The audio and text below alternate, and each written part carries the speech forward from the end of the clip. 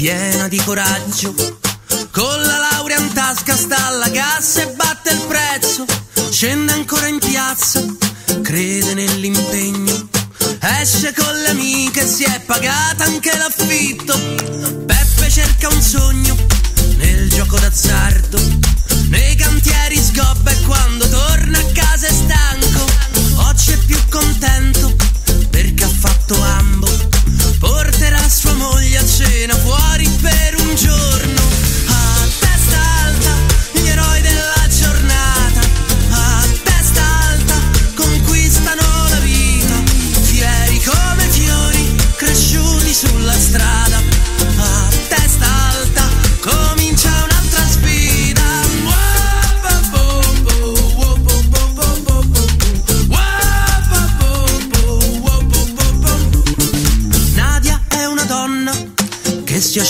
gli occhi, stacca dal call center, stende panni e lava i piatti.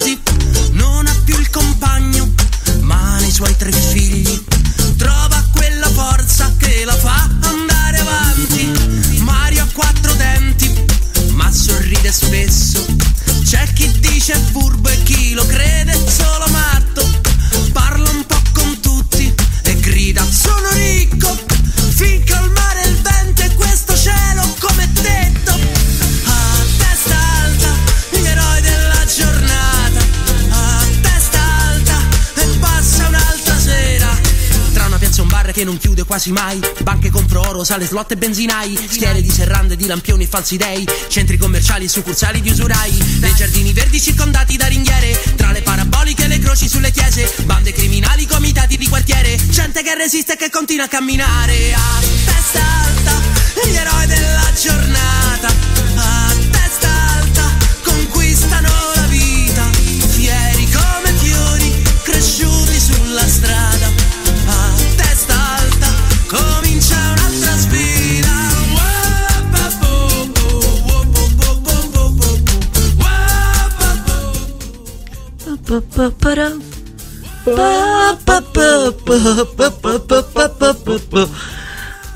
Buongiorno! No, non lo so, bella per te. Vediamo chi lo dice per prima. Bentornati. Siamo all'undicesima puntata di A Testa Alta, il nostro settimanale di approfondimento sulla Roma sociale e culturale.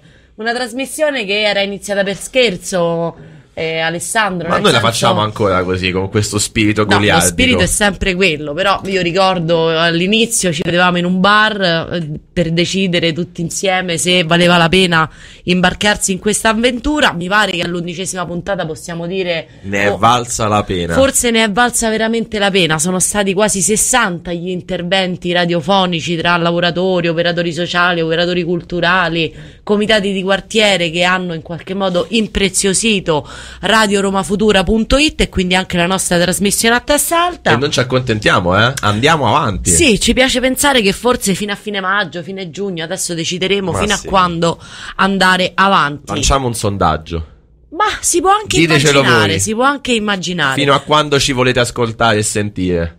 Prima del sommario, che a me piace tanto, tu sai che lo scrivo con tanta, eh, Ah, proprio sì, sì.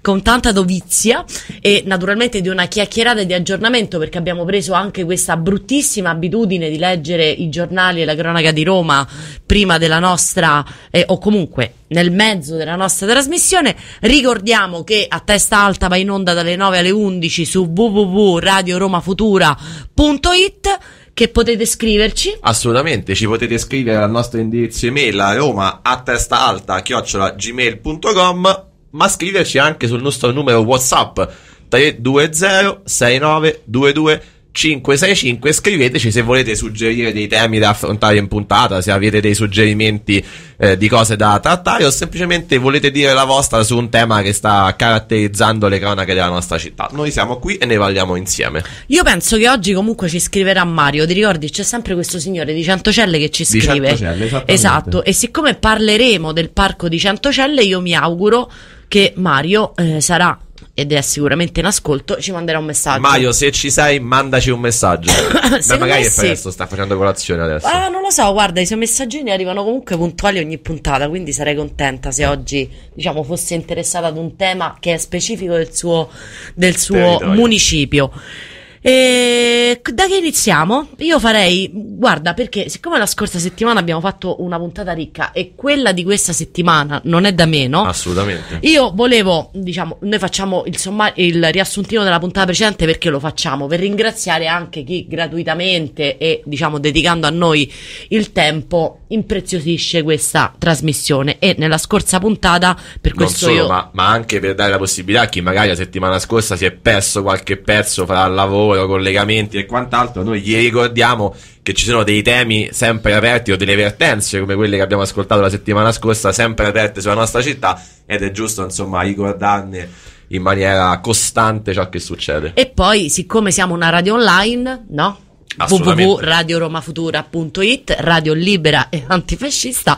Si può anche diciamo riscaricare il podcast della puntata precedente ed è per questo che noi ricordiamo a tutti che la scorsa settimana abbiamo parlato con la Caritas per capire chi sono i nuovi poveri di Roma e come mai i numeri sono in costante aumento Ci siamo fatti anche grandi risate con Andrea Novelli no? sul Gran Premio della Liberazione che ci ha raccontato insomma le difficoltà con le quali questo Gran Premio è stato organizzato e salvato in extremis l'intervento del governo che ha eh, fatto sì che si potesse disputare anche quest'anno la 72esima edizione del Gran Premio della Liberazione. Sì, se pensi che è un gran premio che è nato immediatamente dopo la guerra e diciamo è un po' anche il simbolo, a Roma c'è sempre stata la corsa per la liberazione, diciamo faceva un po' dispiacere non vederla, Eh beh, eh non beh, vederla nella programmazione. eh. Abbiamo dato la voce a Troni. Sono quasi 300 i lavoratori coinvolti nella chiusura dei sette punti vendita. Con noi c'era anche un pezzo di sindacato. E poi siamo andati all'Esquilino con il Eh sì. solito giro, diciamo, nei municipi, nei municipi di Roma. Perché è proprio. Cioè, noi perché abbiamo immaginato questa trasmissione, Cozza? Tu Perché noi, perché noi vogliamo dare voce ai nostri eroi della giornata, come ci ricorda Emilio Stella nella eh, sigla di apertura e di chiusura della nostra puntata. E quindi che facciamo? Andiamo a cercare chi nella nostra città tutti i giorni si impegna nel suo piccolo, perché poi non c'è bisogno di fare grandi cose per cambiare la giornata di chi ci sta vicino, e si impegna con il suo comitato di quartiere, con la sua associazione, eh, con quello che può fare nella giornata per dare un contributo a- anche a migliorare la nostra città, perché insomma molto spesso sentiamo chi si impegna nel parco sotto casa, chi si impegna nel suo, nella sua associazione culturale per offrire servizi, quindi insomma di storie belle ne stiamo raccontando tante. Sì, e poi quando apriamo i giornali, come stiamo facendo da qualche puntata a questa parte, ci rendiamo conto che mentre noi raccontiamo storie di persone che a testa alta, diciamo così, affrontano le sfide dei propri quartieri e dei propri territori, C'è qualcuno che notizie... si tuffa a testa in basso. No, ma è una cosa allucinante. Roma si tuffa nudo nella fontana di Trevi, bloccato dai vigili, dovrà pagare una multa. Però la Fontana di Trevi ce l'ha questa cosa che rievoca qualcuno, qua- qualcuno suggerisce sempre l'idea di buttarsi in acqua per fare un bagno e una nuotata, perché ho visto le immagini, lui faceva una bella nuotata in stile rana, devo dire, anche con il suo perché. Sì, dopodiché ehm, io rimango basita di due notizie. Il primo è che questo soggetto, perché così lo dobbiamo chiamare, si è gettato nudo eh, nella fontana di Trevi alle 3 di pomeriggio con la piazza piena di turisti che hanno inneggiato eh, come se avesse compiuto una, una cosa bella, no? Cioè è bello. Beh, dai, però mettiti anche nel panno, nei panni. nel panno è complicato, nei panni forse è meglio. Del turista straniero che magari si trova a Fontana di Trevi così per sbaglio, trova in mezzo all'acqua qualcuno. La prima reazione è quella della goliardia di incitarlo. Poi Certo, magari io- se ti fermi tre secondi a ragionare che sta facendo, magari te ne rendi conto. No, io Eh, mi metto nei panni però di un cittadino romano perché lì saranno scattate foto e video. Assolutamente E, sì. e- e- e mi dispiace per la nostra città perché l'immagine che andrà in giro per il mondo, sui social. È di questo e- ragazzo che si No, riveste è della fontana essere- di Trevi, oltraggiata da mm, un, un- un personaggio che non, non so come definire, che si è addirittura spacciato per straniero, quindi ha dato generalità false. Invece è un ragazzo di nazionalità italiana, i cui documenti sono stati, diciamo, che era in possesso di una carta d'identità rubata. Adesso, ehm, io, mm, cioè, la goliardia per carità di Dio, a volte fa anche simpatia, però diciamo il rispetto per i grandi monumenti romani, no? Perché se giustifichiamo questo, allora giustifichiamo anche la turista che ha scritto il nome del marito e della figlia sopra il Colosseo. Sì, sì. e, e allora Sì. ci sono dei limiti in cui anche la goliardia, a cui anche la goliardia deve, secondo me, adeguarsi. Sono un po' rigida, però.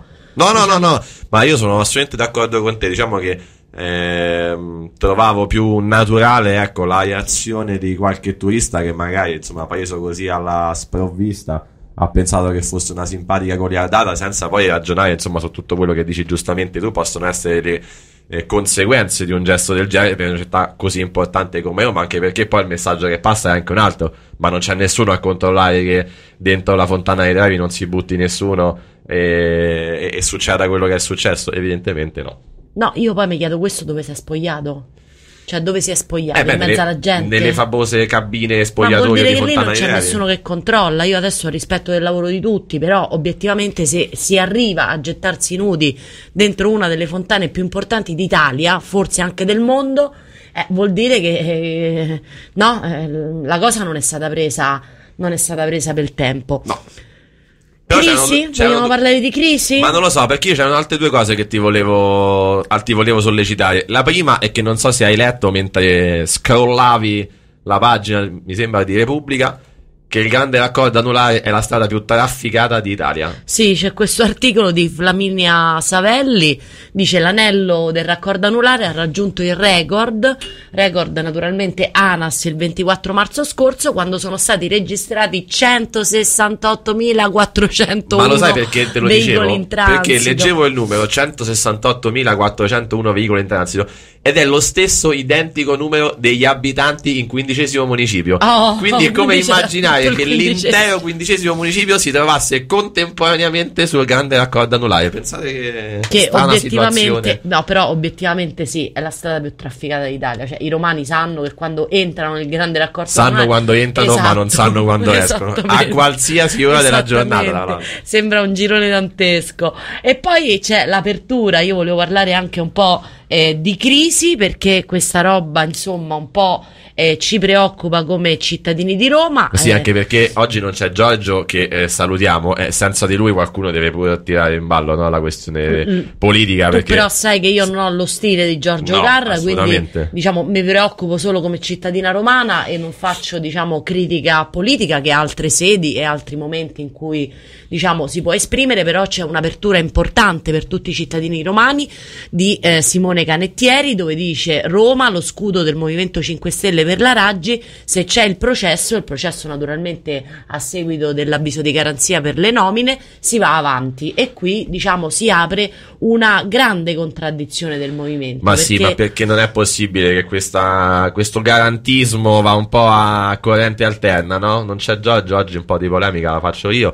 eh, perché insomma, eh, se uno è garantista, come è giusto anche essere, eh, perché insomma, in Italia fino a che non arriva l'ultimo grado di giudizio si è, si è innocenti, allora voglio dire, non si può ogni un giorno sì e l'altro no strillare a- alla trasparenza e all'onestà e poi quando tocca a noi fare finta che invece non sia, non sia così. Beh, No, a me dispiace un po' perché eh, diciamo il garantismo è a garanzia però delle persone su cui si fa eh, un'indagine, nel senso che un avviso di garanzia è a garanzia della persona che lo riceve. esattamente, esattamente. E abbiamo un po' perso anche il senso no, del- dei codici, delle leggi e del perché esistono alcune garanzie, nel senso che poi le persone ha- hanno anche diritto a presentare documenti e testimonianze a loro difesa per dire "Mm, no, giusto che mi indaghiate, giusto che la magistratura faccia la sua parte, è giusto anche che come cittadino io mi possa Difendere, difendere. certo. Naturalmente se eh, diciamo ci sarà un rinvio a giudizio, io credo che a Roma si aprirà una piccola grande crisi e questo vorrà dire di nuovo instabilità per la nostra città, vorrà dire ancora servizi che ritarderanno diciamo a soddisfare le esigenze dei nostri cittadini e quindi una nostra qualità della vita un po' più scarsa. Io sono sostanzialmente preoccupata preoccupata di questo. Diamo una piccola buona notizia perché siamo a Pasqua. Eh sì, perché a Pasqua, Eh, direi, a Pasqua eh. c'è un... Magari è venerdì santo, A lo so. Pasqua, insomma, musei aperti sia di domenica che di lunedì, eh, weekend d'arte, quindi della nostra città, e, insomma, ci sarà anche un'apertura notturna sabato eh, 15 aprile ai, ai Fori Imperiali e il mercato italiano, quindi insomma, se volete andate e gustate. Un'altra cosa che però mi sentirei